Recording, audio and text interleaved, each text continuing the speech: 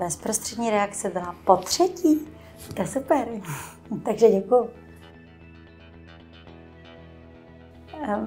Myslím, že všichni, kdo sem chodí, nebo většina, má trošku uh, pocit, že jde k zubaři, takže i já přemýšlím, o který zub přijdu. myslím si, že dnešní otázky budou o Izraeli, protože to je asi to nejzajímavější, co já můžu Honzovi říct, ani nevím, jestli tam byl někdy. Tak mě to docela zajímá.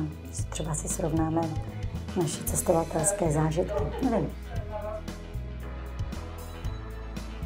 Já bych se Honzi zeptala, protože to nevím před natáčením pořadu, jestli teda byl v Izraeli a jestli ne, tak proč?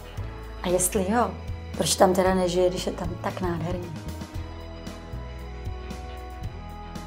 No, fakt spíš se bojím, aby se mě nezeptal na něco, co nevím, ale zase mě bude za dva dny 59 a to už je docela dost. Na to, abych se nebála říct, já prostě nevím. Takže myslím si, že jsem v podstatě v klidu.